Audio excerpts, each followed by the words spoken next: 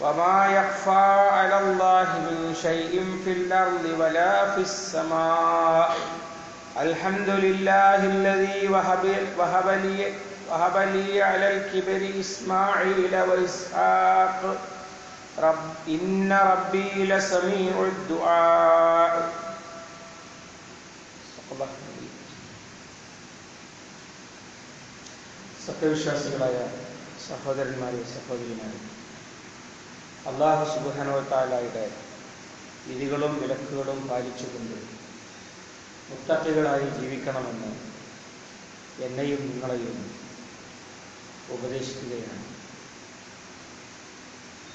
ഇബ്രാഹിം അലി ഇസ്ലാമിന്റെ സ്മരണകൾ നമ്മളിലൂടെ കടന്നുപോയിക്കൊണ്ടിരിക്കുന്ന ഈ കാലത്ത് ഇബ്രാഹിം അലി ഇസ്ലാമിന്റെ വില്ലത്തിനെ പറ്റിയാണ് കഴിഞ്ഞ തവണ പരാമർശിച്ചത്. ഇബ്രാഹിം അലി ഇസ്ലാമിന്റെ കുടുംബം അദ്ദേഹത്തിന്റെ ഭാര്യ ഹാജറ അല്ലെങ്കിൽ ഹാജർ മകൻ ഇസ്മായിൽ അതുപോലെ ഇസ്മായിലിന്റെ രണ്ട് ഭാര്യമാണ് ഇവരെ സംബന്ധിച്ചൊക്കെ നബ്സല്ലാഹു അലൈഹി പ്രത്യേകം പരാമർശിക്കുന്നത് വളരെ പ്രബലമായ ഹദീസുകളിൽ നമുക്ക് കാണാൻ കഴിയുന്നതാണ്. അവയിൽ അവരിൽ നമുക്ക് ഗുണപാഠങ്ങളും ഉപദേശങ്ങളും ഉള്ളതുകൊണ്ടാണ് അങ്ങനെ അവയൊക്കെ പരാമർശിക്കപ്പെട്ടിരിക്കുന്നത്. നമ്മളത് മനസ്സിലാക്കേണ്ടതാണ്. രണ്ട് കാര്യത്തിൽ അതിലൊന്ന് അവരിൽ നിന്ന് അവരുടെ ആ കുടുംബത്തിന്റെ പലക്കും ഫി ഇന്നല്ലതി. നിങ്ങൾക്ക് ഉസ്വത്തുൻ ഹസനയുണ്ട്. ഇബ്രാഹിമിലും അദ്ദേഹത്തിന്റെ കൂടെയുള്ളവരിൽ നിന്നാണല്ലോ അള്ളാഹു താല പറഞ്ഞത്. ആ ഉസ്വത്തുൻ ഹസന മനസ്സിലാക്കണമെങ്കിൽ അവരെക്കുറിച്ച് അറിയണം. അതാണ് ഒന്ന്. തെറ്റായ മനസ്സിലാക്കലുകളിൽ നിന്ന് രക്ഷപ്പെടാനും അത് അറിയണം ഒരുപാട് തെറ്റിദ്ധാരണകളും അതുപോലെ തെറ്റായ സങ്കല്പങ്ങളും. ഇബ്രാഹിം അലൈഹി ഇസ്ലാമിനെ സംബന്ധിച്ചും ഹാജറ ബീവിയെ പറ്റിയും സാറ ബീവിയെ പറ്റിയും ഇസ്മായിലിനെ പറ്റിയും ഒക്കെ ഒരുപാട് കഥകളുണ്ട്. അതിൽ തെറ്റായ കഥകളൊക്കെ ഇവിടെ പരാമർശിക്കുക എന്നത് പ്രായോഗികമല്ല. പ്രബലമായി ഉദ്ധരിക്കപ്പെട്ട കഥ എന്താണ് പാഠം എന്താണ്? അത് പരാമർശിക്കലാണ് നമുക്ക് എളുപ്പമുള്ള പണി എന്ന് പറയുന്നത്. ഹാജറ ബീവിയെ കുറിച്ച് നബ്സല്ലാഹു അലൈഹി സ്വലമ പറയുന്നത് ഇന്ന അവല മത്തഹദ നിസാഉ അൽ മിൻതഖ. من قبل أم إسماعيل اتخذت منطقة منطقا لتعفي أثرها على سارة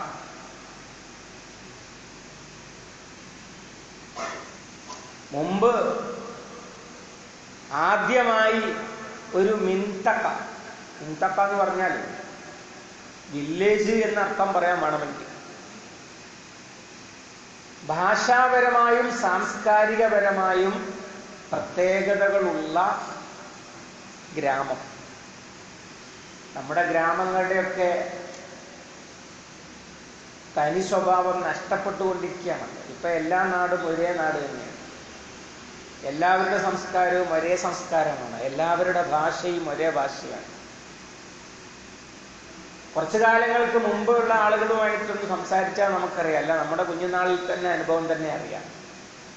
ഗ്രാമങ്ങൾ മാറും തോറും ഭാഷയുടെ സ്ലാങ്ങിൽ തന്നെ വ്യത്യാസം വരുമായിരുന്നു അടുത്തടുത്ത പ്രദേശങ്ങൾ തന്നെ. കാരണം ഗ്രാമങ്ങൾക്കൊക്കെ ഒരു തനിമ ഉണ്ടായിരുന്നു. കാരണം വേറിട്ട് കിടക്കുകയാണ് ചെയ്യുക. ഇപ്പൊ നമ്മുടെ നാട് കേരളം എന്ന് പറയുന്നത് ഒരു വലിയ നഗരമാണ്.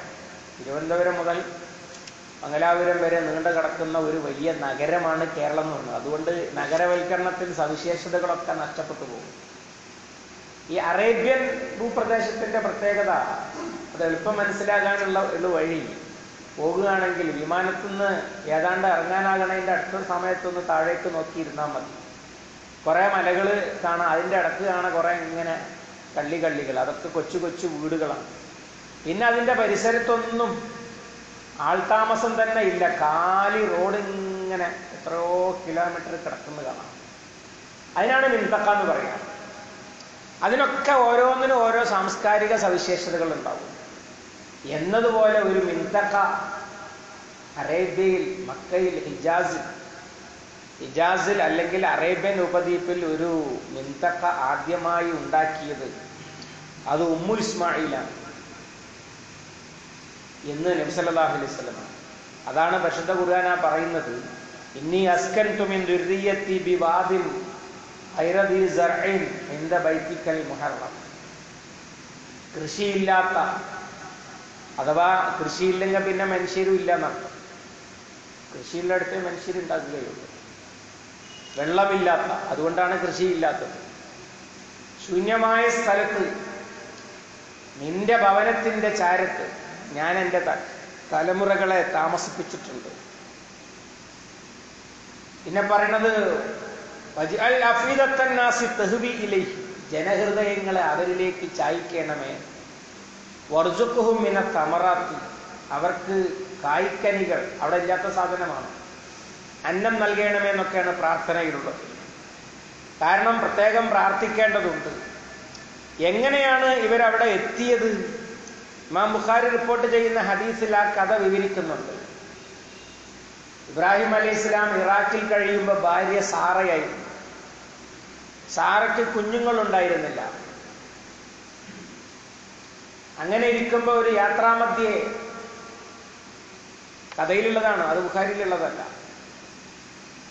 ഒരു രാജാവിന്റെ അടുത്ത് പെട്ടു. അവസാനം നല്ല വാക്കൊക്കെ പറഞ്ഞ് അവിടുന്ന് രക്ഷപ്പെട്ടു. ഞാൻ ഉപദ്രവിക്കാൻ ശ്രമിച്ചത് ഒരു മഹതിയെയാണെന്ന് മനസ്സിലായ രാജാവ് സമ്മാനമായി കൊടുത്ത അടിമ സ്ത്രീയായിരുന്നു. വേലക്കാരത്തിയായിട്ട് സമ്മാനം കൊടുത്തത് ആയിരുന്നു ഹാജറ. പിന്നീട് കുഞ്ഞുങ്ങളില്ലാതിരുന്നപ്പോ അവരെ ഭാര്യയായി സ്വീകരിച്ചു കൊള്ളാൻ സാറ ഇബ്രാഹിം അലൈഹി ഇസ്ലാമിനെ സമ്മർദ്ദം ചെലുത്തി. കുറച്ചു കഴിഞ്ഞപ്പോ കുഞ്ഞുണ്ടായി. അതോടുകൂടി തന്റെ സ്ഥാനം നഷ്ടപ്പെടുമോ? ഏത് പെണ്ണിനും സ്വാഭാവികമായി ഉണ്ടാകുന്ന മനുഷ്യ സഹജമായ ഒരു വികാരമാണ്. ഞാൻ അപ്രസക്തയായി പോകുന്നു. അത് ഭാര്യമാരിൽ മാത്രമൊന്നുമല്ല കുട്ടികളിൽ ഉണ്ടാകാറുണ്ട്. ഉമ്മ അടുത്ത കുഞ്ഞിനെ പ്രസവിച്ചാൽ മൂത്ത കുഞ്ഞിനുണ്ടാകും എന്തൊക്കെ ഒരു ഒരു തരം വികാര തള്ളിച്ച കുറച്ച് വളർന്നതിന് ശേഷമാണ് അടുത്ത കുട്ടി വരുന്നതെങ്കിൽ എനിക്കൊരു അന്യൻ വരുന്നു അന്യത്തി വരുന്നു എന്നൊക്കെ പറഞ്ഞ് കാത്തിരിക്കുന്ന തരത്തിൽ മൂത്ത കുട്ടിയെ മോൾഡ് ചെയ്യാൻ നമുക്ക് പറ്റും. അതിനായിട്ടുണ്ട് പക്ഷെ അതിനായിട്ടില്ല ഒക്കത്തിരിക്കുന്ന പ്രായമാണെങ്കിൽ എന്റെ സ്ഥാനം പോയോ എന്നുള്ള ഒരു വികാരം ഉണ്ടാകും. ഇതാരും പഠിപ്പിച്ചു കൊടുത്തതൊന്നുമല്ലോ മനുഷ്യ സഹജമാണ്. ഏതായാലും ഈ ചർച്ചയുടെ അവസാനത്തിലാണ് ഇബ്രാഹിം അലി ഇസ്ലാം ഹദീസിന്റെ റിപ്പോർട്ട് അനുസരിച്ച് തീരുമാനമെടുക്കുന്നത് കൊണ്ടുപോയി താമസിപ്പിക്കാം. അതിൽ നിന്ന് ചിലർ മനസ്സിലാക്കി വെച്ചിരിക്കുന്നു സാറയുടെ പോര് കൊണ്ടാണ് ഇബ്രാഹിം അലി ഇസ്ലാം ഹാജറയെ കൊണ്ടുപോയി മക്കയിൽ താമസിപ്പിച്ചത്.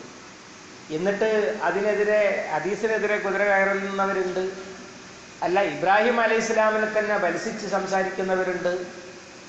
സോഷ്യൽ മീഡിയയിൽ തോന്നിയാസം വിളിച്ചു പറയുന്നവരെ കാണാം.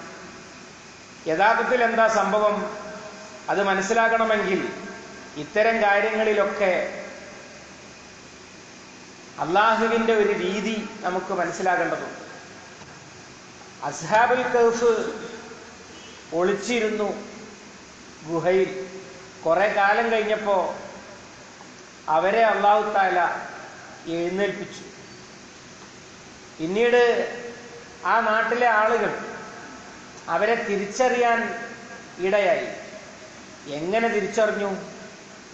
അതിന് അള്ളാഹു താല പറയണത് വലക്കത് അയസർണ അലിഹി. അയസറ എന്നുള്ള വാക്കിന്റെ അസൽ അർത്ഥം. ഇപ്പോ മുഫസറുകൾ എത്തി നോക്കാൻ അവസരമുണ്ടാക്കി എന്നൊക്കെ പരിഭാഷപ്പെട്ടു അയത്തറ എന്ന് പറഞ്ഞാൽ ഈ ആനയെ പിടിക്കാൻ വേണ്ടി കുഴി കുത്തും കാട്ടിൽ. പക്ഷെ ആ കുഴി കുത്തിയിട്ട് അതിന്റെ മേലെ മറ മറവൊക്കെ വെച്ചിട്ട് ആന അങ്ങോട്ട് വരൂലല്ലോ. ആനയെ അങ്ങോട്ട് വരുത്താൻ വേണ്ടി ചെയ്യുന്ന ട്രിക്കുകൾ. അത് പ്രയോഗിച്ചു എന്നാണ് വാക്കിന്റെ അസിൽ ഭാഷയിൽ അതിന്റെ ഉപയോഗം. അഴത്തറ തക്കതാലിക്ക് അഴത്തർണ അലൈഹിം എന്നാണ് അന്ന പറഞ്ഞത്. ജനങ്ങളെ അവിടേക്ക് എത്തിച്ചു. എത്തിക്കാൻ അള്ളാഹു കാരണമുണ്ടാക്കി. ഇതാണ് അസർ. ശർക്കരയുടെ ഉണ്ട ഇങ്ങനെ വഴിയിൽ ഇട്ടാൽ അത് തിന്ന് തിന്ന് ആദ്യം കുറച്ചിടും കുറച്ചും കൂടി വലിയ കഷ്ണം ഇടും അതിന്റെ അപ്പുറത്തേക്കും കൂടും വലിയ ഇതിടും അത് തിന്ന് തിന്ന് വന്ന് ആന കുഴിച്ചാടും പിന്നെ മറ്റേ ആന വന്ന് മെരുങ്ങിയതിന് ശേഷം പിടിച്ചു കയറ്റി കൂടെ കൊണ്ടുവരും. അങ്ങനെയാണ് കാട്ടാനയെ നാട്ടാനയാക്കുന്നത് ഇങ്ങനെ കെണി വെച്ചിടത്തേക്ക് ആനയെ എത്തിക്കാൻ വേണ്ടി ചെയ്യുന്ന ട്രിക്ക് അതിനാണ് ഏസാർ എന്ന് പറയുക. പിടിച്ചു വലിച്ചു കൊണ്ടുവന്നാൽ പോരെന്ന് ചോദിച്ചാൽ അപ്പം പിടിച്ചാൽ മതി എന്നോ തിരിച്ചു ചോദിക്കാൻ. എന്നതുപോലെ അസ്ഹാബുൽ കഹഫിനെ തിരിച്ചറിയാൻ വേണ്ടി അള്ളാഹു സുബാനവത്താലെ ചില സാഹചര്യങ്ങൾ ഒരുക്കി വെച്ചു. ഒരാൾ നാണയവുമായിട്ട് അങ്ങാടിയിലേക്ക് ചെല്ലുന്നു.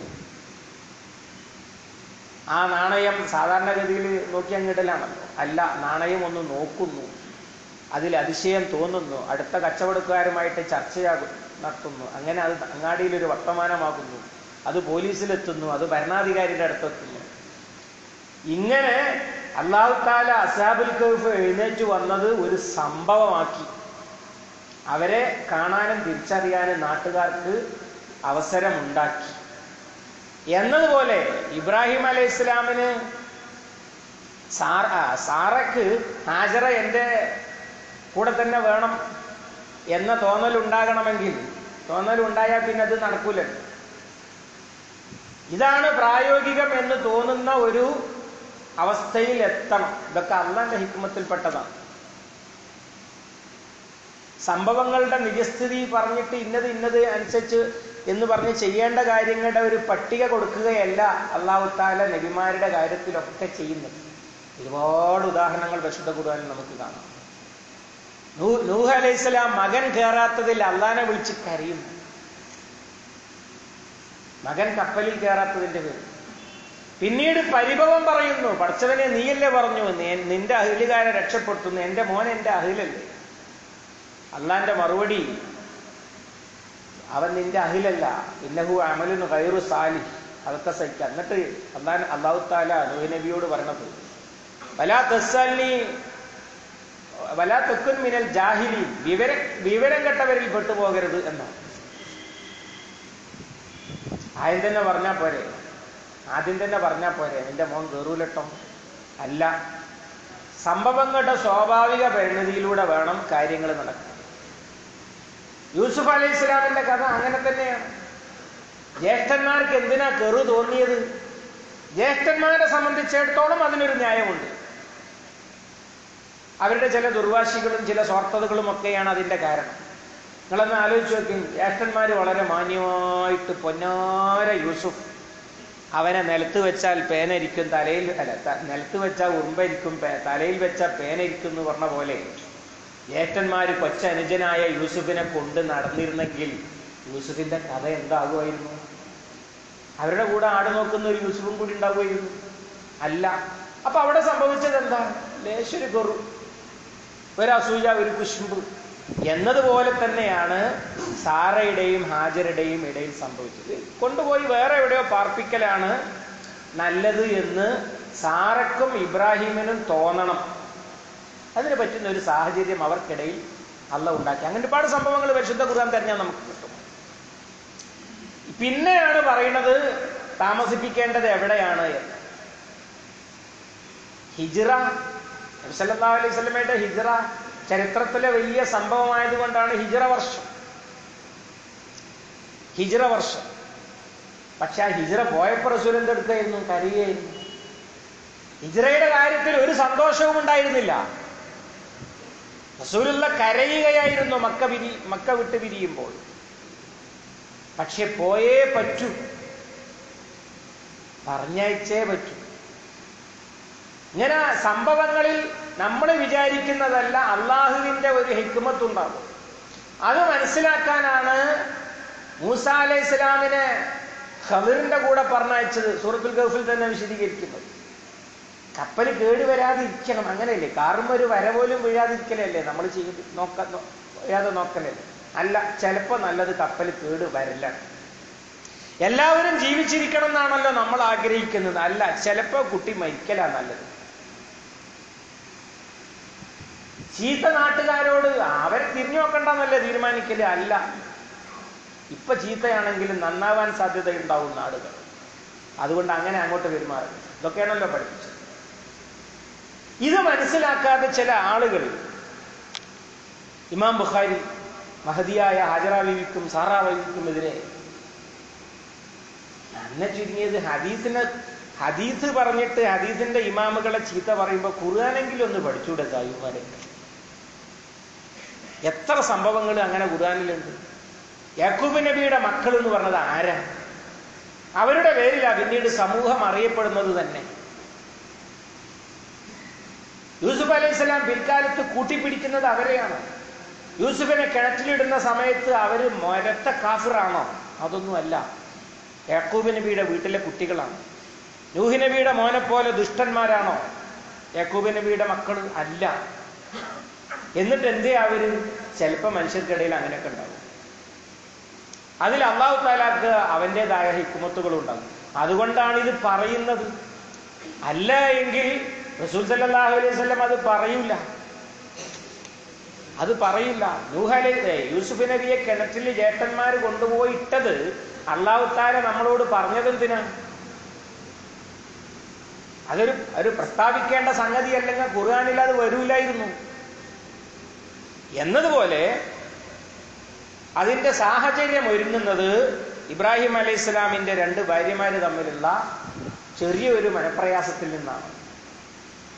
ചെറിയ മനപ്രയാസം സാറയുടെ മനപ്രയാസം മാറാൻ അവിടെ വരെ കൊണ്ടുപോകേണ്ടതുണ്ടോ?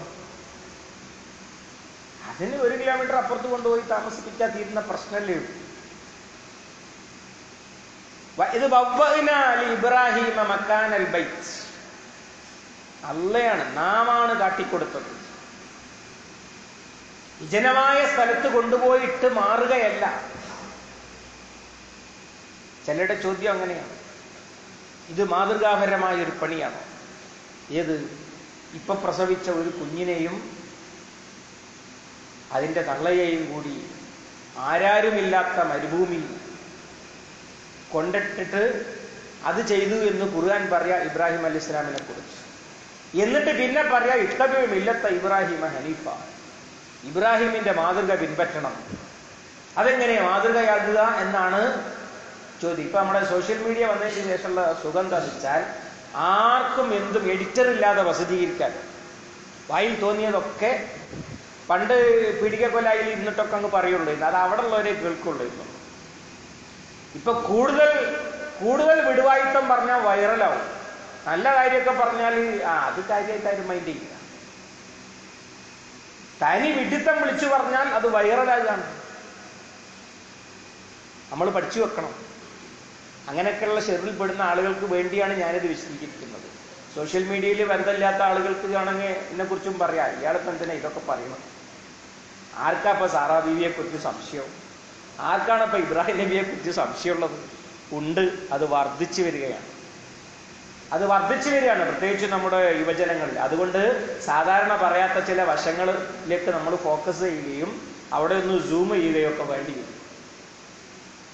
അങ്ങനെ ഇബ്രാഹിം അലൈഹി ഇസ്ലാമിനെ ഇബ്രാഹിം അലൈഹി ഇസ്ലാം ഇസ്മായിൽ അലൈഹി ഇസ്ലാമിനെയും ആജറ ബീബിയെയും കൊണ്ടുപോയി താമസിപ്പിക്കാനുള്ള സ്ഥലം നിശ്ചയിച്ചു കൊടുത്തത് അള്ളാഹു സുബാനോ താലയാണ് അതുകൊണ്ടാണ് വൈദ് ബവ്വദിന ഇബ്രാഹിമ മക്കാനൽ ബൈത്തി എന്ന് പറയുന്നത്. പിന്നെ ഇമാം ബുഖാരി റിപ്പോർട്ട് ചെയ്ത ഹദീസ് ഹാജറാർ അലി അള്ളാഹു എന്ന ചോദിക്കുകയാണ് എങ്ങോട്ടാണ് നിങ്ങൾ പോകുന്നത്? അതിന് മറുപടിയില്ല മറുപടി പറയാൻ കഴിയില്ല ഒരു പിതാവ്.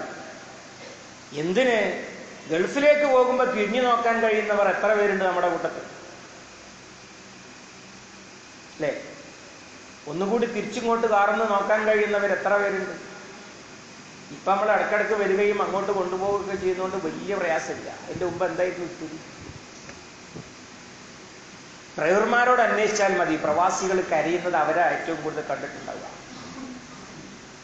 എയർപോർട്ട് അടുത്തായപ്പോഴല്ലേ എയർപോർട്ടിലേക്ക് കുടുംബത്തെ കൂട്ടി യാത്രയാക്കാൻ പോയാലൊക്കെ മറ്റത് ഒറ്റയ്ക്ക് ടാക്സിയിൽ ആരെങ്കിലും ഒന്നോ രണ്ടോ തുണക്ക് കൂട്ടിയിട്ട് എയർപോർട്ടിലേക്ക് അങ്ങ് പോയാലല്ലായിരുന്നു അപ്പൊ കാണുന്ന ഒരു കരച്ചിൽ അത് വീട്ടുകാർ കണ്ടിട്ടുണ്ടാവില്ല. എന്തിനാ പോകുന്നത്? ആഗ്രഹിച്ചെടുത്താക്കാ പോകുന്നത്. സമ്പാദിക്കാനാ പോകുന്നത്. എന്നിട്ട് കരയുമെങ്കിൽ ഇബ്രാഹിം അലൈഹി സ്വലാം എത്ര കരഞ്ഞിട്ടുണ്ടാകും? പിന്നെ ആഗ്ര ചോദിക്കാൻ കഴിയുന്ന ഒറ്റ ചോദ്യമേ ഉള്ളൂ. ആ അള്ളാഹു അമറക്ക അള്ളാഹുവാണോ ഇത് താങ്കളോട് കൽപ്പിച്ചത്? അപ്പൊരാംഗ്യമാണ് കാണിക്കുന്നത്. ഇതൻ ലായുള്ളയ്യോഴുന അങ്ങനെയാണെങ്കിൽ അള്ളാഹു ഞങ്ങളെ കൈവിടുകയില്ല എന്ന് പറയുന്ന ഹാജര അവിടെയാണ് ഒരു പെണ്ണിന്റെ കരുത്ത് എത്രത്തോളം ഉണ്ടായിരുന്നു എന്നത് നമ്മൾ തിരിച്ചറിയേണ്ടത്. എത്രത്തോളം അള്ളാഹുവിനോട് ഒട്ടിയവളായിരുന്നു ഹാജറ എന്നത് നമ്മൾ തിരിച്ചറിയേണ്ടത്. അവരുടെ ഈമാൻ വെളിപ്പെടുന്ന മറുപടിയാണ് ഇതൻ ലാ യുലയ്യുന എന്ന് പറയുന്നത്. പിന്നെ നടക്കുന്ന സംഭവമാണ് നേരത്തെ നമ്മൾ വിശദീകരിച്ച സഴി കുട്ടിക്ക് വെള്ളം തീർന്നുപോയി മുലപ്പാലും വറ്റിപ്പോയി ദിവസങ്ങൾ കഴിഞ്ഞപ്പോൾ. ആശങ്കകളുണ്ട്. അപ്പോഴാണ് സഫയിലേക്കും മർവയിലേക്കും അങ്ങോട്ടും ഇങ്ങോട്ടും അന്വേഷിച്ചുകൊണ്ട് ഓടുന്നത്. കുന്നിന്റെ മുകളിൽ കയറിയാൽ ദൂരേക്ക് കാണാം. ദൂരേക്ക് എന്ത് കാണാം? ഒന്നുകിൽ മനുഷ്യരുണ്ടെങ്കിൽ കാണാം. അല്ലെങ്കിൽ പക്ഷികൾ പറക്കുന്നുണ്ടെങ്കിൽ കാണാം. പക്ഷികൾ പറക്കുന്നുണ്ടെങ്കിൽ അതിന്റെ അർത്ഥം അവിടെ തിന്നാനോ കുടിക്കാനോ എന്തോ ഉണ്ട് എന്നാണ്. അങ്ങനത്തെ അടുത്ത മരുഭൂമിയിൽ പക്ഷികൾ ഉണ്ടാവും. നമ്മളെ കടലിൽ പോകുന്നവരോട് അന്വേഷിച്ചാൽ അറിയാം. അല്ലെങ്കിൽ ഒന്ന് പോയി നോക്കിയാലും അറിയാം. ഈ ചൂര മാസ് ജീപ്പിൽ ചെന്നപ്പോഴാണ് കണ്ടത്. മാസ് എവിടെയാണ് ഉള്ളത്? ഉണ്ടെങ്കിൽ കൂട്ടത്തോടെ ഉണ്ടാകും ഏതാനും മിനിറ്റുകൾ കൊണ്ട് ബോട്ട് നിറയ്ക്കാൻ പറ്റും. നാലും അഞ്ചും കിലോ ഒക്കെ ഉള്ളത് പിടിച്ച് ഇട്ടുകൊണ്ടേയിരിക്കുകയാണ് ചെയ്യുക പക്ഷെ അത് ഉള്ളയിടം എങ്ങനെ അറിയാം? അത് കൂട്ടത്തോടെ വന്നതുകൊണ്ട് കടൽക്കാക്കകൾ അവിടെ ചുറ്റി പറക്കുന്നുണ്ടാവും. കാക്കകൾക്ക് ഇതിനെ കൊത്തി തിന്നാൻ കിട്ടുമൊന്നുമില്ല പക്ഷെ അവർ ആഗ്രഹിക്കൽ അങ്ങനെയാണ്. നാലും അഞ്ചും കിലോ ഒക്കെ ഉണ്ടാവും ഓരോ സാധനങ്ങൾ. അങ്ങനെ പക്ഷികൾ പറക്കുന്ന ദൂരേന്ന് കണ്ടാൽ പിന്നെ ബോട്ട് അങ്ങോട്ടാണ് പോവുക. കാരണം അവിടെ മീനുണ്ട് എന്നാണ് മരുഭൂമിയിലാകുമ്പോൾ അവിടെ വെള്ളമുണ്ട് എന്നാണ് അർത്ഥം. അതുകൊണ്ട് മുകളിൽ കയറി നോക്കി. ഇല്ല. ഏഴുവട്ടം ഓടി എന്നാണ് ചരിത്രത്തിലുള്ളത്. ഏഴ് തവണ നാല് തവണ സഭയിലും മൂന്ന് തവണ മറവയിലും കയറി നോക്കിയിട്ടുണ്ട്. അസ്വസ്ഥയായിരുന്നു. അങ്ങനെ ഇരിക്കുമ്പോഴാണ് മറുവയിൽ നിന്ന് സ പിന്നെ കുഞ്ഞിനെ കുഞ്ഞിനെ കിടത്തിയിടത്തേക്ക് നോക്കുമ്പോൾ ചില റിപ്പോർട്ടിലുള്ളത് മലക്കിനെ തന്നെ കണ്ടു എന്നാണ്.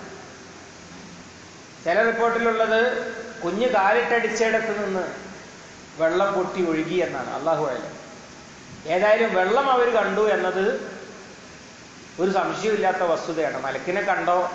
അതല്ല വെള്ളം മാത്രമേ കണ്ടുള്ളൂ. അതൊക്കെ റിപ്പോർട്ടുകളിൽ ഭേദമുള്ള വ്യത്യാസം. ആളുകൾ കേട്ടത് കേട്ട് പറയുമ്പോൾ പല വ്യത്യാസങ്ങളും വരാൻ സാധ്യതയുണ്ട്. എന്തായാലും അസൽ സംഭവം ഉള്ളതാണ്. അങ്ങനെ ചെന്നു. വെള്ളമാണ്. കുടിച്ചു കുടിപ്പിച്ചു. എന്നിട്ട് അതിന്റെ ചുറ്റും അതിന്റെ ചുറ്റും കല്ല് പെറുക്കി തളമാക്കി വെച്ചു. എന്നിട്ടും വെള്ളം നിൽക്കുന്നില്ല. അപ്പോൾ പറഞ്ഞ വാചകമാണത്രേ ജം ജം അങ്ങനെയാണ് ആ പേരുണ്ടായത് സംസമിന്റെ പുണ്യം എന്താണ്? സംസം നമ്മൾ പലരും കൊണ്ടുപോയി ലാബിൽ കൊടുത്തു നോക്കുകയാണ്. ലാബിൽ പല വെള്ളത്തിനും പല പ്രത്യേകതകളും ഉണ്ടാകും. കാസർകോട്ടെ വെള്ളവും മലപ്പുറത്തെ വെള്ളവും രണ്ട് വെള്ളമായിരിക്കും. കടപ്പുറത്തെ വെള്ളവും മലയിലെ വെള്ളവും വ്യത്യസ്ത വെള്ളമായിരിക്കും. മരുഭൂമിയിലെ വെള്ളവും ധാരാളം മഴ പെയ്യുന്നിടത്തെ വെള്ളവും രണ്ടു തരം വെള്ളമായിരിക്കും. വെള്ളത്തിൽ വെള്ളം എല്ലാം വെള്ളമാണെങ്കിലും ഒരുപാട് ക്വാളിറ്റി വ്യത്യാസങ്ങൾ ഉണ്ടാകും. അതാണ് സംസമിന്റെ അല്ലേ സംസമിന്റെ കെമിസ്ട്രി അതിന്റെ കെമിസ്ട്രി അല്ല പ്രധാനം അതിന്റെ ഹിസ്റ്ററിയാണ് ലാബിൽ കൊടുത്തിട്ട് അത് വെറും പച്ചവെള്ളമാണെന്ന് വന്നാൽ പോലും മാവു സംസം ലിമാ ഷിരിബ മുസലല്ലാസ്ലമ പറയാം ഒരാൾ എന്തിനാണോ സംസം കുടിച്ചത് അതിനുള്ളതാണ് രോഗം മാറാൻ കുടിച്ചാൽ അത് രോഗം മാറാനുള്ളതാണ്. വിശപ്പ് മാറാൻ കുടിച്ചാൽ വിശപ്പ് മാറാനുള്ളതാണ്. ദാഹം മാറാൻ കുടിച്ചാൽ ദാഹം മാറാനുള്ളതാണ്. ഇമാം ബിൻ അബ്ബാസ് റളിയല്ലാഹു ഒരുപാട് ദിവസങ്ങൾ ജംസം വെള്ളം മാത്രം കുടിച്ച് ജീവിച്ചത് ഉദ്ധരിക്കപ്പെട്ടിട്ടുണ്ട്. അല്ലെങ്കിലും വെള്ളം മാത്രം കുടിച്ച് ജീവിക്കാവുന്ന ജന്തു തന്നെയാണ് മനുഷ്യൻ. നബിസല്ലാഹു അലൈഹി സ്വല്ലമ ദാഹത്തിന് മാത്രമല്ല കുടിച്ചിട്ട് വയറ് തിങ്ങിയിരുന്നു എന്ന് ഹദീസിലുണ്ട്. ധാരാളമായി കുടിക്കാൻ പ്രോത്സാഹിപ്പിച്ചതുണ്ട്. പിന്നെ ഇന്നത്തേതുപോലെ കൊണ്ടുപോകാൻ അന്ന് സംവിധാനം ഉണ്ടായിട്ടില്ല ആര് എവിടെ പോയാലും വെള്ളമുള്ളിടത്ത് ചെന്നാൽ ചെയ്യുന്ന ഒരു പണിയുണ്ട്. ഉള്ള തോൽപാത്രം നിറച്ച് വെള്ളം കൊണ്ടുപോകാന്നുള്ളത് അത് അന്ന് മക്കയിലും മദീനയിലും അല്ല എവിടെ ചെന്നാലും വെള്ളം ഉള്ള പാത്രത്തിൽ നിറച്ചു കൊണ്ടുപോകും. അപ്പൊ പാത്രം ഒഴിവുള്ള ആളുകൾ നിറച്ചു കൊണ്ടുപോകും അല്ലാത്തവർ കൊണ്ടുപോയിട്ടുണ്ടാവില്ല. അത് പ്രത്യേകം പരാമർശിക്കപ്പെടുന്ന ഒരു സംഭവമല്ല. ഹജ്ജിന് പോകുന്നവർ സംസം വെള്ളം കൊണ്ടുവരുന്നിരുന്നു എന്നത്. കാരണം എന്താ? എന്തായാലും തോൽപാത്രം കയ്യിലുണ്ടോ? വെള്ളം എടുത്തിട്ടേ പോകൂ. വെള്ളം ഉള്ളെടുത്ത് ചെന്നാൽ. പ്രത്യേകം പറയേണ്ട ഒരു കാര്യമല്ല. ഹജ്ജിന് പോകുന്നവർ ഹജ്ജിന് പോകുന്നവർ മക്കയിൽ ചവിട്ടി എന്ന് പറയണോ? മക്കയിൽ ശ്വസിച്ചു എന്ന് പറയണോ? പറയേണ്ട ആവശ്യമില്ലല്ലോ. അല്ലാതെ തന്നെ എന്നതുപോലൊരു സംഭവമാണ് വെള്ളം എടുത്തുകൊണ്ട് പോവുക എന്ന് പറയുന്നത്. കാരണം അത് അങ്ങനെ ചെയ്യും. ഇങ്ങനെയാണ് സംസം ഉണ്ടായത്. നബിസല്ലാ അലിസ്ലാമ പറയാണ് റഹിമല്ലാഹു ഉമ്മ ഇസ്മായിൽ ഇസ്മായിലിന്റെ ഉമ്മയെ അള്ളാഹു താല അനുഗ്രഹിക്കട്ടെ. അവർ തടുത്തു നിർത്തിയില്ലായിരുന്നെങ്കിൽ അതൊരു പുഴയായി ഒഴുകുമായിരുന്നു. ഇപ്പോഴും അങ്ങനെ തന്നെയാണ്. എത്ര ലക്ഷം ലിറ്ററാണ് ഒരു ഒരു ദിവസം അടിച്ച് കയറ്റുന്നത്. എന്നിട്ട് വലിയ മലയുടെ മുകളിൽ വലിയ ടാങ്കിൽ സ്റ്റോർ ചെയ്ത് വെച്ചിരിക്കുന്നത്. എത്ര ലക്ഷം ലിറ്റർ വെള്ളം ക്യാനുകളിലായിട്ട് അവിടുന്ന് പോകുന്നുണ്ട്. മക്ക കാണാത്തവർ നിരൂപണം ചെയ്ത് പറയലുണ്ട് അതൊക്കെ തട്ടിപ്പാണ്. വേറെ എവിടുന്നൊക്കോ വേറെ എവിടുന്നൊക്കോ വെള്ളം കൊണ്ടുവന്നിട്ട്. എന്താ മനുഷ്യർ നിങ്ങൾ ഈ പറയണത്? സംസം വെള്ളത്തിന് അവിടെ ആരോ പൈസ മേടിക്കുന്നുണ്ടോ? നമ്മൾ ക്യാനിലാക്കി വിദേശികൾക്ക് കൊണ്ടുപോകാൻ ഫ്ലൈറ്റിൽ കൊണ്ടുപോകാൻ പറ്റുന്ന തരത്തിൽ പെട്ടിയിലാക്കി തരുന്നുണ്ട്. അതുപോലും ഫ്രീ ആണ് അതിന് പൈസ മേടിക്കുന്നില്ല. അത് തരാൻ അവർക്ക് ഒരു വലിയ ചിലവുണ്ട്. ക്ലീൻ ചെയ്ത് നല്ല കുപ്പിയിലാക്കി പെട്ടിയിലാക്കി ഫ്ലൈറ്റിലേക്ക് പറ്റുന്ന തരത്തിൽ തരാൻ. അത് ഹദിയയാണ് വിറ്റാൽ പോലീസ് പിടിക്കും. പോലീസിന് കള്ളക്കേസ് എടുക്കണം എന്ന് തോന്നിയാൽ ബാഗ് എടുക്കൽ സംസം വിറ്റു എന്നുള്ള കേസാണ്. വേറെന്തോ ഒന്ന് ഒരുത്തൻ പോലീസുകാരനോട് എന്തോ ദ്രോഹം ചെയ്തിട്ടുണ്ടാവും. അപ്പൊ പിന്നെ ഓന്റെ കയ്യിലുള്ളത് കേസാണല്ലോ എപ്പോഴും അങ്ങനെ തന്നെയാണ് നമ്മുടെ നാട്ടിൽ പലപ്പോഴും എഴുതൽ പുക വലിച്ചു എന്നുള്ള കേസാണ്. ഇങ്ങനെയൊക്കെയുള്ള പെറ്റി കേസുകൾ ചർച്ച ചെയ്തു. എന്ന പോലെ എഴുതൽ സംസം വിറ്റു എന്ന കേസാണ്. സംസം വിൽക്കാൻ പാടില്ല. ഇങ്ങനെ വിൽക്കാത്ത ഒരു ഉറുപ്പ്യ വരുമാനമില്ലാത്ത ചെലവ് മാത്രമുള്ള ഒരു കന്നാസ് കൊടുക്കാൻ വേണ്ടിയിട്ട് ഒരു ഗവൺമെന്റ് കോടികൾ ഒരു വർഷം ചെലവാക്കേണ്ട വല്ല കാര്യമുണ്ടോ? നിങ്ങൾ ഇവിടുന്ന് കുടിച്ചിട്ട് പോയാൽ മതി. എത്രയോ കാലം അങ്ങനെ ഉണ്ടായിരുന്നുള്ളൂ. സംസമിൽ നിന്ന് ആളുകൾ കോരി കുടിക്കും. ആ ബക്കറ്റിൽ നിന്ന് കുപ്പിയിൽ ഒഴിച്ച് കൊണ്ടുപോകാവുന്നത് കൊണ്ടുപോകും. അല്ലാതെ ആർക്കും കൊടുക്കലുണ്ടായിരുന്നില്ല. എന്നിട്ട് ഹജ്ജ് നടന്നിട്ടില്ലേ? അല്ലാതെ സംസം കൊണ്ടുവരാനൊന്നുമല്ല ആളുകൾ ഹജ്ജിന് പോകുന്നത്. വിവരക്കേട് വിളിച്ചു പറയുന്നതിന് വല്ല അറ്റമുണ്ടോ അത് അവിടെ പോയി ഒന്ന് നേർബുദ്ധിയോടെ നടന്നാൽ ഏത് കുട്ടിക്കും മനസ്സിലാകുന്ന കാര്യമാണിത്. പക്ഷെ ഈ പോകാത്ത ആളുകൾ ഇരുന്നിട്ട് വിടുവായുത്തം പറഞ്ഞുകൊണ്ടിരിക്കുകയാണ്. ഹജ്ജ് എന്ന് പറഞ്ഞത് ആ മനുഷ്യനെ മുട്ടയാക്കാനുള്ള പരിപാടിയാണ്. അങ്ങനെ എന്നിട്ട് കണ്ടുപിടിക്കുകയാണ്. മഹല്ലിഖീന റൂസക്കും എന്ന് അല്ല പറഞ്ഞത് പിന്നെ എന്തിനെ പറ്റിയാ? മുട്ടയടിക്കാൻ പറഞ്ഞത് ആരാ? നബിസല്ലാ അലൈഹി സ്വലമയാണോ ഹദീസിലാണോ? ഫിഖിലാണോ സുന്നത്തിലാണോ? അല്ല ഖുർആനിൽ തന്നെയല്ലേ ഉള്ളൂ. ഇങ്ങനെ വിവരക്കേട് എന്തും പറയാലോ. വിവരം പറയുമ്പോഴല്ലേ റഫർ ചെയ്ത് പറയേണ്ടി വരിക? അതുകൊണ്ട് വായി തോന്നുന്നതൊക്കെ സോഷ്യൽ മീഡിയയിൽ വിളിച്ചു പറഞ്ഞുകൊണ്ടിരിക്കുകയാണ് ആളുകൾ. ഏതാവട്ടെ ഇങ്ങനെയാണ് സംസം ഉണ്ടായത്. അതിപ്പോഴും ഒരു അത്ഭുതമായിട്ട് നിലനിൽക്കുക തന്നെയാണ്. അതൊക്കെ ഓർമ്മയാക്കാനാണിത് കുടിക്കുന്നത് കേട്ടോ. സംസം കുടിക്കുമ്പോൾ ഇതൊക്കെ നമുക്ക് ഓർമ്മ ഉണ്ടാകണം. അതുകൊണ്ടാണ് നബ്സല്ലാഹു അലൈഹി സ്വലമ സംസം കുടിക്കുമ്പോൾ നടത്തിയ പ്രാർത്ഥന എന്താ? അള്ളാഹുമ ഇന്നി അസ്അലുക്ക ഇൽമൻ നാഫിയ വരിസ്ഖൻ വാസിയ കുല്ലി ദായി വെള്ളം കുടിക്കുമ്പോ റിസ്ഖൻ വാസിയ. ഇഷ്ടം പോലെ വെള്ളമുള്ള ഈ കിണർ തന്നതുപോലെ എനിക്ക് ഇഷ്ടം പോലെ അന്നം തരണേ എന്ന് ദ്വാരുന്നാൽ അതൊരു സ്വാഭാവിക ദ്വായാണ് പിന്നെ ഷിഫാമെങ്കുല്ലി ദാകുന്ന് തോരുന്നാലും തൽക്കാലം നമുക്ക് സമ്മതിച്ചു കൊടുക്കുക ഒരു ആത്മീയ വെള്ളമാണ്. പക്ഷെ ഒരു വെള്ളം കുടിക്കുമ്പോഴെങ്ങനെയാണ് ഇൽമൻ നാഫിയൻ തർക്കുന്നത് റസൂൽ സല്ലാഹു അലൈഹി സ്വലമയുടെ ഉറച്ച ദ്വാഴയും പശ്ചാത്തലമായിട്ട് ബന്ധമില്ലാത്തത് ഉണ്ടാവില്ല നമ്മളാണ് ദ്വാരക്കണ സമയത്ത് നമുക്ക് തോന്നിയതൊക്കെ അങ്ങ് ദ്വാരക്കണം. ദ്വാ സമ്മേളനമൊക്കെ നടത്തും നമ്മൾ. പക്ഷെ റസൂൽദാന്റെ ഏറ്റവും വലിയ ദ്വാഴ പോലും ഒരു അഞ്ചു മിനിറ്റിൽ കൂടിയിട്ടില്ല. അപ്പൊ പറയാനുള്ളത് അള്ളാഹുവിനോട് ഉള്ളിൽ തട്ടി പറയുന്നതിനാണ് റസൂലിന്റെ ദ്വാ എന്ന് പറയുന്നത്. അതൊരു വാക്കേ ഉണ്ടാവുള്ളൂ ഒരു വാചകേ ഉണ്ടാവുള്ളൂ ചിലപ്പോ. ആ ചെയ്യുന്ന കാര്യവും ആ സാഹചര്യവും ഒക്കെ ആയിട്ട് വലിയ ബന്ധങ്ങൾ അതിനുണ്ടാവും ഏത് ദ്വാരങ്ങൾ എടുത്ത് പരിശോധിച്ച് നോക്കുക ചിലർക്കത് മനസ്സിലാകാത്തത് കൊണ്ട് വിഡിത്തം പറഞ്ഞുകൊണ്ടിരിക്കും. നമസ്കരിച്ചതിന് ശേഷം എന്ന് റസൂലുള്ള പറഞ്ഞതായി അബൂഹുറൈറ റിപ്പോർട്ട് ചെയ്തിരിക്കുന്നു. കണ്ടില്ലേ? നിസ്കാരപ്പൊരു തെറ്റാ? തലക്കകത്ത് വേറെന്തോ ആയാലും എന്ത് ചെയ്യാനാ? എന്തിനാണ് ആ എന്നെ കൊണ്ട് പറ്റുന്നിടത്തോളം ശരിയായിട്ട് നമസ്കരിച്ചിരിക്കുന്നു. ഇനി പോരായ്മകൾ വല്ലതുണ്ടെങ്കിൽ കൊടുക്കണം നമ്മൾ വിരുന്നുകാരനോട് പറയും എത്ര സദ്യ ഒരിക്കലും പറയും ഉള്ളതൊക്കെ ഒരുക്കിയതാട്ടോ ഒന്നും വിചാരിക്കരുത്. അതന്നെ. ഇത് ഖുർആാനിലുണ്ട്. മക്ക പത്തഹായതിന് ശേഷം ഫസബ്ബിഹു ബിഹംദി റബ്ബിക്ക വസ്തഗ്ഫിറുഹു വലിയൊരു വിപ്ലവം സാധിച്ചിട്ട് നടത്താൻ പറഞ്ഞത് തസ്ബീഹും ഇസ്തിഫാറുമാണ് പിന്നെയാണോ നിസ്കരിച്ചിട്ട്? ഇങ്ങനെ ഉദാഹരണം പറഞ്ഞതാണ് ഞാൻ. ഏത് ദ്വാഴയും ഏത് ദ്വാഴയും ആ ചെയ്യുന്ന കാര്യമായിട്ട് ബന്ധമുണ്ടാകും. അങ്ങനെയാണെങ്കിൽ എൽമൻ നാഫിയ ജംസം ജംസം വയറ്റിലേക്കും ശരീരത്തിലേക്കും മാത്രമുള്ളതല്ല വിജ്ഞാനത്തിലേക്കും ബുദ്ധിയിലേക്കും ഉള്ളതാണ് പഠിക്കണം. എന്താണ് സംസം? എങ്ങനെ ഉണ്ടായി സംസം?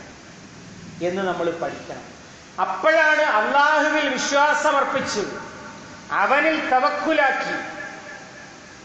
അവന് വേണ്ടി എന്തിനും സന്നദ്ധമാകുന്ന ഈമാനോടുകൂടി ജീവിക്കുന്നവൻ അവനെ അള്ളാഹു സുബാനോത്താല പ്രത്യേകമായി സഹായിച്ചതിന്റെ ഉദാഹരണമായിട്ട് നമുക്കത് മനസ്സിലാക്കുക.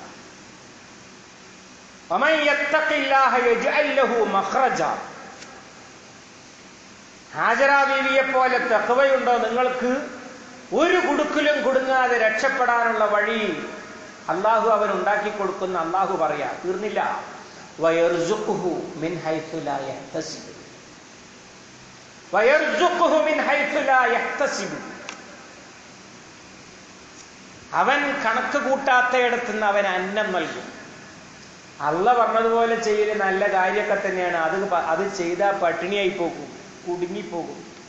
അതുകൊണ്ട് ഞാനില്ല എന്നൊക്കെ തീരുമാനിക്കുന്നത് സഹോദരന്മാരെ സഹോദരിമാരെ വിവരക്കീടും വിട്ടിത്തവുമാണ് കാരണം റിസ്ക് ഒമാമിൻ ദാബത്തിൻ ഇല്ല അലല്ലാഹി റിസ്ഖുഹ അത് അവൻ ഏറ്റ കാര്യമാണ്.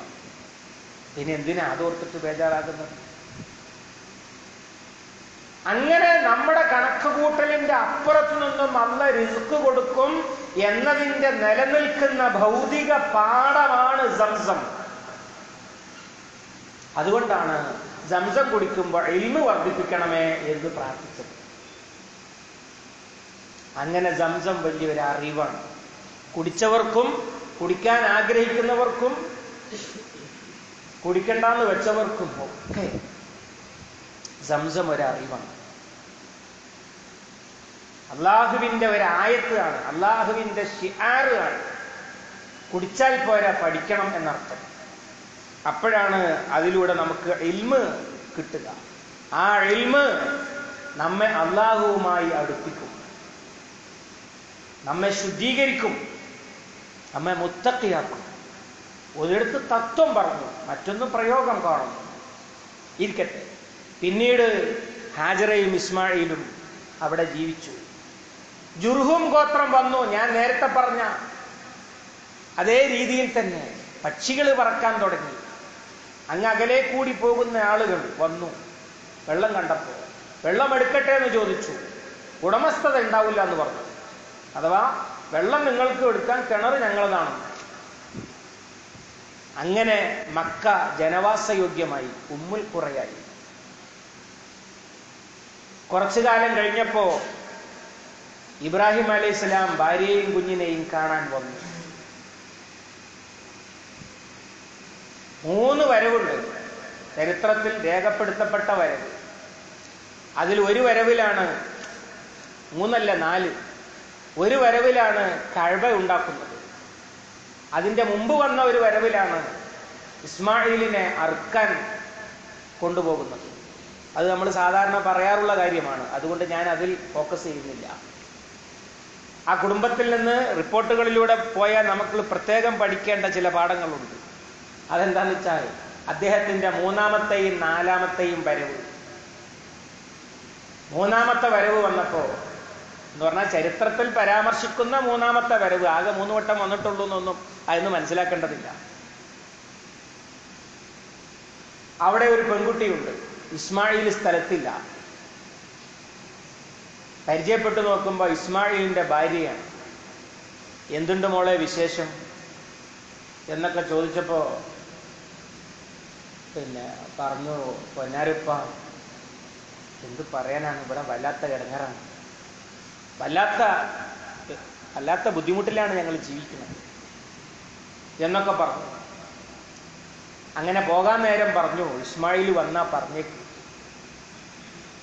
ഉപ്പ വന്നിരുന്നു. പിന്നീട് ഒരു വസീയത്ത് അവനോട് പറയണം. അതെന്താ? ഉമ്മറപ്പടി മാറ്റി വെക്കണം എന്നാണ് അങ്ങനെ ഇബ്രാഹിം അലൈഹി സ്വലാം പോയി. കുറച്ചു നാൾക്ക് ശേഷം ഇസ്മായിൽ വന്നു. ഇസ്മായിൽ എവിടെ പോയിരുന്നു? ഇസ്മായിലിനെ സുഖവാസത്തിനല്ലല്ലോ അവിടെ കൊണ്ടയാക്കിയത്. അത് ഇബ്രാഹിമിന്റെ പ്രാർത്ഥനയിലാണ് അതിന്റെ ഉത്തരം ഉണ്ടാകുക ഇസ്മായിൽ എവിടെ പോയിരുന്നു എന്നത്. അവിടെ ഒരു ദുരീയത്തുണ്ടാവണം അവിടെ ഇസ്ലാമിക കേന്ദ്രമാക്കണം ജനഹൃദയങ്ങൾ അങ്ങോട്ട് ചായണം. കഴബ ഹജ്ജ് നടക്കണം. അങ്ങനെ ഒരുപാട് പണികൾ ആ പ്രാർത്ഥനകളിലുണ്ട്. അതൊക്കെ കഥയായിട്ടാണ് അള്ള പറഞ്ഞു തരിക. അങ്ങനെ വലിയ റോളാണ് ഇസ്മായിൽ വഹിച്ചുകൊണ്ടിരിക്കുന്നത്. അത് സംബന്ധമായി എന്തോ പുറത്താണ്. വന്നപ്പോ ഭാര്യ ഈ കാര്യമൊക്കെ പറഞ്ഞു. പറഞ്ഞപ്പോ അതെന്റെ ഉപ്പ തന്നെയാണ്. അവൾ കണ്ടിട്ടില്ല ആദ്യം. എന്തെങ്കിലും വസീയത്ത് എന്നോട് പറഞ്ഞോ? വസീയത്ത് ഉണ്ടാകും കാരണം എന്താ? മകനെ ഒരുപാട് ദൗത്യങ്ങൾ ഏൽപ്പിച്ചിട്ടുള്ള വാപ്പയാണ്. അതുകൊണ്ട് ഒരു അന്വേഷണവും ഇല്ലാതെ എന്തും പറയാതെ വാപ്പ പോവില്ല എന്ന് മോനറിയാം അതുകൊണ്ട് പറഞ്ഞു അതുകൊണ്ടാ ചോദിച്ചത് എന്തെങ്കിലും ഉപദേശം തന്നു. അപ്പൊ പറഞ്ഞു ആ ഉണ്ടല്ലോ. എന്താ നിങ്ങളോട് ഉമ്മറപ്പടി മാറ്റി വെക്കാൻ പറഞ്ഞു. അപ്പൊ ഓൾ വിചാരിച്ചത് എന്താന്ന് വെച്ചാൽ ആ ഞാനും എന്നും വിചാരിക്കുന്നുണ്ട്. ഇത് എന്തൊരു വാതിലാ. കുറച്ച് നല്ല ഒരു കൊത്തുപണിയൊക്കെ ഉള്ളതല്ലേ? അങ്ങനെയാണല്ലോ നമ്മൾ വിചാരിക്കുന്നത്. ഇതൊന്ന് മാറ്റി വെക്കുക തന്നെ വേണം. അത് എന്തായാലും നന്നായി എന്നുള്ള സന്തോഷത്തിലായിരിക്കണം ഈ പറഞ്ഞതെന്ന് ഞാൻ ഊഹിക്കുന്നു. ഞാൻ അത് ഏത് കിതാബിലാണെന്നൊന്നും എന്നോട് ചോദിക്കാൻ പറ്റില്ല. അതിൽ ഇസ്മായിൽ അലൈഹി സ്വലാം പറഞ്ഞു അത് ശരി അങ്ങനെ പറഞ്ഞില്ലേ? അത് നിന്നെയാണ് ഉദ്ദേശിച്ചത്. അതുകൊണ്ട് ആ കൊണ്ടാക്കി തരാം വീട്ടിലേക്ക്. ഇനി നമ്മൾ തമ്മിൽ ഒക്കൂല. തലാഖ് അവിടെ തുടങ്ങുന്നു. വിശുദ്ധ ഖുർആനിലെ കാണുന്ന തലാഖ് അവിടെ നിന്നാണ് തുടങ്ങുക അതിന്റെ മുമ്പ് നൂഹി നബിയുടേത് ഓൾ വിരിഞ്ഞു പോയതല്ലേ ഇതല്ല കൂടെ പാർക്കുന്ന കുട്ടിയെ കൊണ്ടാക്കാൻ ബാപ്പ ഉത്തരവിട്ടിരിക്കുകയാണ്. അങ്ങനെ കൊണ്ടാക്കി. വേറെ കല്യാണം കഴിച്ചു. ഇതേ സംഭവം റിപ്പീറ്റ് ചെയ്യണം ഇമാം ബുഖാരിയുടെ റിപ്പോർട്ടിൽ. അതിൽ ഇതേ ഉപദേശത്തിന്റെ സ്ഥാനത്ത് ചുരുക്കി പറയാം. കൊടുത്ത ഉപദേശം ഈ ഉമ്മറപ്പടി കളയരുത് എന്ന് പറഞ്ഞിട്ടുണ്ട് എന്നാണ്. കുട്ടി പറഞ്ഞത് പെൺകുട്ടി ഇബ്രാഹിം അലൈഹി സ്വലാമിനോട് പറഞ്ഞത് അതേ വീട്ടിൽ. ജീവിത സാഹചര്യം വീടും ഒന്നും മാറിയിട്ടില്ല. അലഹമില്ല റാഹത്താണ്. ഇഷ്ടംപോലെ വെള്ളമുണ്ട്. നല്ല ഇറച്ചി തിന്നാൻ കിട്ടുന്നുണ്ട്. ഇബ്രാഹിം നബി പറഞ്ഞു പിന്നെ ഇറച്ചിയിലും വെള്ളത്തിലും അള്ളാഹു താല ബർക്കത്ത് ചെയ്യണമെന്ന് പ്രാർത്ഥിച്ചു. അതുകൊണ്ട് റസൂലത പറഞ്ഞിട്ടുണ്ട് അതിൽ രണ്ടിലും ബർക്കത്തുണ്ട്. മക്കയിൽ നിന്ന് മാത്രമേ നിങ്ങൾ ആ പണി ചെയ്യാവൂ കേട്ടോ ഏത്? ഇറച്ചിയും വെള്ളവും മാത്രമായിട്ട് ജീവിക്കുക എന്നുള്ള പണി മക്കയിൽ നിന്ന് മാത്രമേ ചെയ്യാവൂ എന്ന് റസൂലിന്റെ നിർദ്ദേശമാണ്. അങ്ങനെ പാടുള്ളൂ എന്ന് പറഞ്ഞാൽ ആറാമാണെന്നോ അലാലാണെന്നോ ഒന്നും അല്ല അതിന്റെ അർത്ഥമില്ല. അവിടുന്ന് ഇറച്ചിയിലും വെള്ളത്തിലും വർക്കത്ത് ചെയ്യണേന്ന് ഇബ്രാഹിം അലി ഇസ്ലാം പ്രാർത്ഥിച്ചിട്ടുണ്ട് എന്നാ പറഞ്ഞത്. അങ്ങനെ പോയി ഇസ്മായിൽ വന്നു. അപ്പൊ പറഞ്ഞു ഉമ്മറപ്പടി മാറ്റിവെക്കരുത് എന്ന് വസീയത്ത്. നിന്നെയാണ് ഉദ്ദേശിച്ചത്. നിന്നെ ഒരിക്കലും കളയരുത് എന്നാണ് അതിന്റെ അർത്ഥം. ഞാൻ പറഞ്ഞു തുടങ്ങിയത് ഇബ്രാഹിമിന്റെ കുടുംബത്തിൽ നമുക്ക് മാതൃകയുണ്ട് എന്നാണ്. ഒരു നബിയുടെ കുടുംബം അല്ല ഒരു മൂമിനിന്റെ കുടുംബം. ജീവിതത്തെക്കുറിച്ച് ഒരു ഇഖ്നാൾ കിട്ടിയതിൽ ആത്മസംതൃപ്തി ഉള്ളതല്ലെങ്കിൽ ആ കുടുംബം തകർക്കാൻ ഒരു പെണ്ണിന്റെ ആർത്തി തന്നെ മതിയാകും. പിന്നെ ബാക്കിയുള്ളവരുടേതും കൂടി ആയാൽ പറയാനുണ്ടോ? അതേ സമയത്ത് കിട്ടിയതിൽ സംതൃപ്തി ഉണ്ടെങ്കിൽ അത് വലിയ ബർക്കത്ത് വർദ്ധിക്കാൻ കാരണമാകുന്ന സംഗതിയാണ്. പ്രത്യേകിച്ചും ഒരു നബിയുടെ ഭാര്യ ഇങ്ങനെ ഇല്ലായും വല്ലായും പറഞ്ഞ് കാലം കഴിക്കുന്ന ആളാണെങ്കിൽ സംഗതി നടക്കില്ല അതുകൊണ്ടാണ് ആ ഉമ്മറപ്പടി മാറ്റിവെക്കണം എന്ന് പറഞ്ഞത്. ഇങ്ങനെ ഞാനിത് പറഞ്ഞത് എന്തിനാന്ന് വെച്ചാൽ പ്രത്യേകം നിരീക്ഷിച്ച് ഇടപെട്ട് പരിശോധിച്ച് രൂപപ്പെടുത്തിയ സാധനമാണ് ആലു ഇബ്രാഹിം. എവിടെയോ കൊണ്ടിട്ടു. അവിടെ കിടന്ന് അവിടെ കിടന്ന് പിന്നെ എന്താണ് കട്ടയിൽ കിടന്ന് കതിര് വന്നു. എന്നൊരു ചൊല്ലുണ്ട് മലയാളത്തിൽ എവിടെയോ കൊണ്ടിട്ടു അവിടെ നിന്ന് ഇങ്ങനെ വളർന്ന് പൊട്ടിപ്പടിച്ചുണ്ടായി. അങ്ങനെ ഇങ്ങോട്ട് ഉണ്ടായതല്ല. വളരെ ശക്തമായ ആസൂത്രണത്തിന്റെയും നിരൂപണത്തിന്റെയും എഡിറ്റിങ്ങിന്റെയും ഫലമായി ഉയർന്നു വന്ന ഒന്നാണ് ആലു ഇബ്രാഹിം. അത് തന്നെയാണ് അവർക്ക് കിട്ടിയ വർദ്ധിതമായ മെച്ചങ്ങളുടെ സൽപ്പേരിന്റെ ഇസാന സിദിഖിൻ ഫിൽ ആലമീൻ. അല്ല ദുനിയാവിൽ കൊടുത്ത ഏറ്റവും വലിയ ഞാമത്ത് ലോകര് മുഴുവൻ നല്ലത് പറയുന്ന അവസ്ഥയാണ്. ഇന്ന് ജീവിച്ചിരിക്കുന്ന മുഴുവൻ മതസമൂഹങ്ങളും ഏതോ ഒരു തരത്തിൽ ഇബ്രാഹിമിനെ ബഹുമാനിക്കുന്നവരാണ്. ഇതൊക്കെയാണ് ബർക്കത്ത് എന്ന് പറഞ്ഞത്. അമ്മാതിരി വർക്കത്ത് എനിക്കും ഉണ്ടാകണം എന്ന് ആഗ്രഹിച്ചിട്ടാണ് റസൂലല്ല അത് വേണമെന്ന് പ്രാർത്ഥിക്കണമെന്ന് സലാത്തിൽ പഠിപ്പിച്ചത്. ഇങ്ങനെ ചില മർമ്മങ്ങൾ കഥ മുഴുവൻ പറയുക മുഴുവൻ വിശദീകരണം പറയുകയിലൊന്നും കുത്തുബയിൽ പ്രായോഗികമല്ല. ചില മർമ്മങ്ങൾ നമ്മുടെ മനസ്സിൽ ഉണ്ടാകണം. അപ്പോഴാണ് നമുക്ക് നമ്മെ കണ്ടെത്താൻ കഴിയുക. നമ്മുടെ ജീവിതത്തിൽ അതിലേക്ക് വെളിച്ചം കിട്ടുക. അള്ളാഹു സുബാനോ താല അവന്റെ കലാമിൽ നിന്ന് അവന്റെ ദീനിൽ നിന്ന് പാഠങ്ങൾ ഉൾക്കൊള്ളുകയും ജീവിതത്തിൽ പകർത്തുകയും ചെയ്യുന്ന മൂമിനുകളിൽ നമ്മെ ഉൾപ്പെടുത്തി അനുഗ്രഹിക്കുമാറാകുന്നു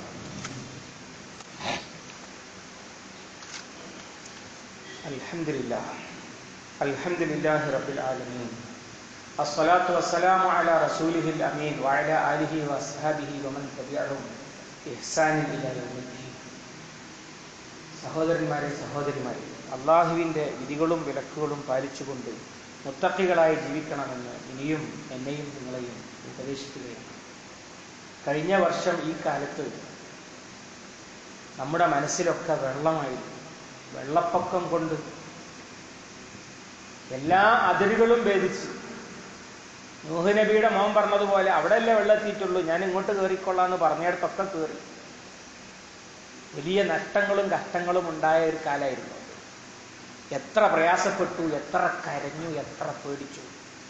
അൽഹംദുലില്ലാ എന്നിട്ടും നമ്മളൊക്കെ ബാക്കിയാകുന്ന വിധം അല്ല നമ്മളെ അനുഗ്രഹിച്ചു. അതേ വാർത്തകൾ ഇതാ വന്നുകൊണ്ടിരിക്കുന്നു ആസാമിൽ നിന്നും ബീഹാറിൽ നിന്നും. ആസാം എന്ന് പറയുന്നത് അല്ലെങ്കിൽ തന്നെ വെള്ളപ്പൊക്കത്തിന്റെ ഒരു സ്വന്തം നാടാണ്. ഈ വർഷം അത് കുറച്ച് ഗൗരവത്തിലുമാണ്. അതുകൊണ്ട് അവരെ സഹായിക്കുക എന്നത് ഉമിനിങ്ങളായ നമ്മളുടെ ബാധ്യതയാണ്. ആരുടെ ഔദാര്യം തിരിവ് കളക്ഷൻ അങ്ങനെയൊന്നും വേണ്ട. നല്ല താല്പര്യമുണ്ടെങ്കിൽ. അവിടെ പോയി ചെയ്യേണ്ട പണി ചെയ്യാൻ ചിലർ ഉത്തരവാദിത്തം ഏറ്റെടുത്തിരിക്കുന്നു. അതിൽ പങ്കാളികളാകാൻ താല്പര്യമുള്ള ആളുകൾ. ഉണ്ടാവണം നമുക്ക് അങ്ങനത്തെ ഒരു മനസ്സ്. അത്തരം ആളുകൾ പിറകിൽ സംവിധാനം ഏർപ്പെടുത്തിയിട്ടുണ്ട്. അതിൽ ആ പങ്കാളിത്തം അവിടെ ഏൽപ്പിച്ച് അള്ളാഹു അത് സ്വീകരിക്കുവാൻ വേണ്ടി ഉള്ള നിയത്തും മനസ്സുമായി പിരിഞ്ഞു പോകണം. അള്ളാഹു സുബാനോത്താല എല്ലാവിധ ദുരന്തങ്ങളിൽ നിന്നും നമ്മയും നമ്മുടെ സഹോദരങ്ങളെയും കാത്തുരക്ഷിക്കുമാറാവട്ടെ. എല്ലാ വിപത്തുകളും അവൻ നമ്മളിൽ നിന്ന് നീക്കിക്കളയുമാറാവട്ടെ. എന്തെങ്കിലും പാപത്തിന്റെ ഫലമായിട്ടാണ് അള്ളാഹു ഇത്തരം വിപത്തുകൾ തരുന്നതെങ്കിൽ റഹ്മാനും റഹീമുമായ നാഥ അത്തരം പാപങ്ങൾ പുറത്തു തന്നുകൊണ്ട് മാപ്പാക്കി തന്നുകൊണ്ട് ഞങ്ങളെ അതിൽ നിന്ന് കാത്തുരക്ഷിക്കണം തമ്പുരാനെ. പ്രയാസം അനുഭവിക്കുന്ന ഞങ്ങളുടെ സഹോദരങ്ങളെ രക്ഷപ്പെടുത്തണം തമ്പുരാനെ. അവർക്ക് ആശ്വാസം പകരണം തമ്പുരാനെ. റഹ്മാനും റഹീമുമായ നാഥ നിന്റെ അടിയാറുകളുടെ നിന്റെ അടിയാറുകളുടെ പ്രയാസങ്ങളിൽ പങ്കാളിത്തം വഹിക്കുന്ന നല്ല മനസ്സ് നൽകി ഞങ്ങളെ നീ അനുഗ്രഹിക്കണം തമ്പുരാനെ അള്ളാഹു മഖ്ഫുലിൽ മുഅ്മിനീന വൽ മുഅ്മിനാത്ത് വൽ മുസ്ലിമീന വൽ മുസ്ലിമാത്ത് വൽ അഹ്യാഇ മിൻഹും വൽ അംവാത്ത് إنك مجيب الدعوات يا قاضي الحاجات ربنا اغفر لنا ذنوبنا وكفر عنا سيئاتنا وتوفنا مع الأبرار ربنا هب لنا من أزواجنا وذرياتنا قرة أعين واجعلنا للمتقين إماما. رب اللهم أعز الإسلام والمسلمين وأذل الشرك والمشركين وأذل أعداءنا وأعداءك وأعداء الدين. اللهم رب ارحم والدينا كما ربيانا صغارا. اللهم اجعل أولادنا صالحين عالمين تقيا نقيا يا أرحم الراحمين. اللهم أنزل السكينة في منازلنا وبارك لنا في معاشنا. اللهم ارحم أزواجنا. اللهم أبد ديوننا واقض هوائجنا. يسر عسيرنا وسهل أمورنا. اللهم اشف أمراضنا وأمراض مرضانا ربنا تقبل منا. إنك أنت السميع العليم.